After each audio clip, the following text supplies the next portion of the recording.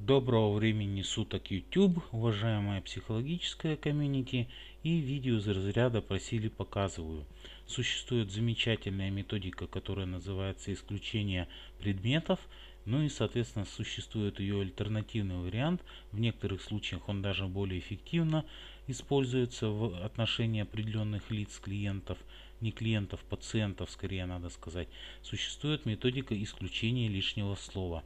Она мною очень любима. Исключение предметов, конечно, вне конкуренции, а исключение лишнего слова некая подмена, замена, иногда ретест относительно методики исключения предметов. И в данном случае меня попросили показать инструкцию к этой самой методике, и я ее с легкостью вам показываю. Зачитываю.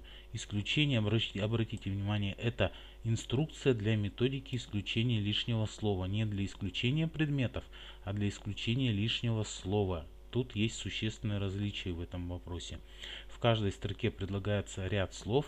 Вам необходимо из пяти слов исключить один предмет или слово, которое не подходит к остальным исходным родовым понятиям.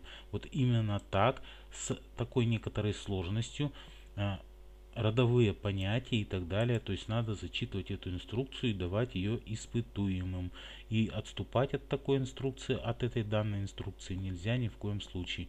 Стандартность инструктажа – одно из основных и главенствующих правил при проведении каких-либо патопсихологических экспериментов в отношении ваших больных пациентов, клиентов при, еще раз повторюсь, при исключении лишнего слова вот такая инструкция, при исключении лишних предметов другая инструкция.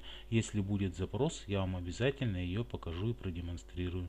На этом все. Благодарю вас за внимание и удачи.